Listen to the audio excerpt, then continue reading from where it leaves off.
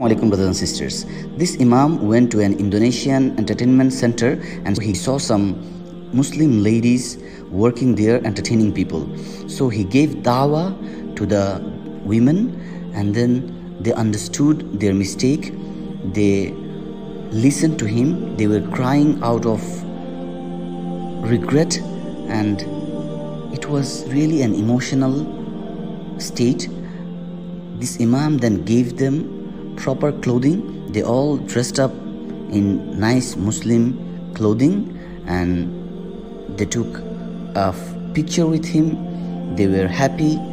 They really listened to him and that they thanked him for giving them da'wah and many of them were moved with tears and they were hugging each other they were regretting and they promised him they will not go back to this entertainment center.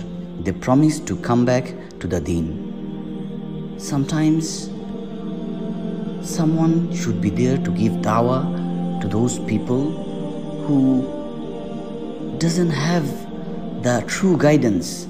There are many of us who don't try to give dawah out of our own circle.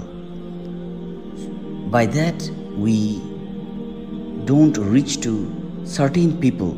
Dawah should go to each and every corner. You don't know when someone will turn to Islam, you don't know who will come back to the deen, and you don't know through whom Allah subhanahu wa ta'ala will guide others. There are many people in the world we don't know, but they are doing amazing works. They are calling people towards Allah in different ways. And Allah subhanahu wa ta'ala says in the Quran, Udu'u ila sabili rabbik bil hikmati wal maw'izati. Call people towards Allah with hikmah, with wisdom. Never underestimate the work of da'wah. Allah might turn the hearts of those who went astray in seconds. Our work is to give da'wah and Allah subhanahu wa ta'ala will do the rest.